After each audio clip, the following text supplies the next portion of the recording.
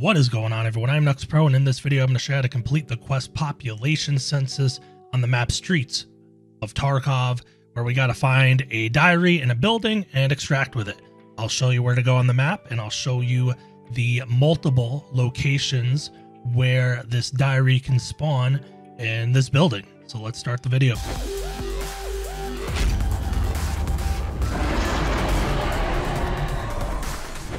Just as a note, the quest item diary you're looking for looks exactly like the diary that you can find most commonly in safes. Before we jump in game, let's show you where you need to go on this beautiful Streets of Tarkov map.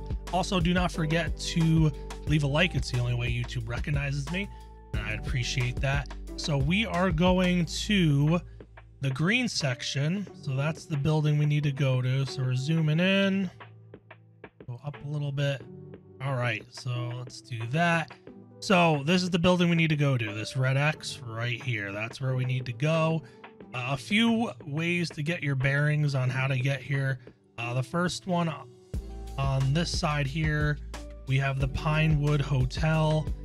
So when you're on this road, you can clearly tell uh, the Pinewood Hotel.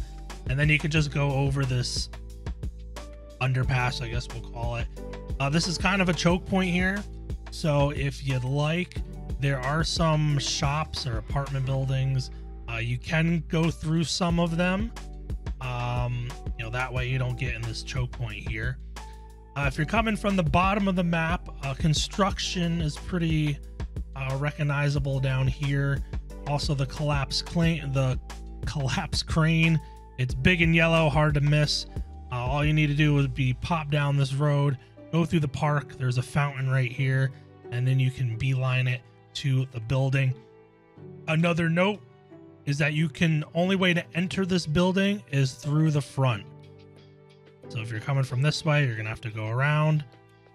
Um, but that's pretty much it. So let's jump into game. Like we mentioned, so the building we're trying to go to is right there. A good reference is the Pinewood Hotel. This is the front of the hotel. The underpass extracts over there. Rest of the map's over there. Um, when I said in the map section of the video, uh, you can go through some of these shops. That way you don't have to go through this like choke point here. Uh, if you are coming from here, all this is blocked, so you're gonna have to go around to the left. Uh, like I said, there's no way to get in from here. Go around this playground. The fountain park area is over there. And then for another reference, the scav checkpoint extract is pretty much on the other side of this building in the corner. So here's our building. Now, there's only four spots that I've seen this diary. We can presume that it could spawn anywhere in this building. Uh, that's not a, this isn't a complicated building, so if you have to look around a little bit, it's not a big deal. The four spots I'm going to show you are the first one is here with the million file cabinets. So we got four file cabinets here. We've seen it there. We've seen it next door in this room here on the table. Seen it there a lot in, in other videos. And then where I found it was actually here. So this is like the front door that you can't go through. Uh, I found it right here, right under this light. And I have also seen it upstairs. And which one is it? This one? Yep, right under this desk. So, like I said, this place isn't that big. Like upstairs, there's only like a few offices you can get into. Only two. The rest is blocked.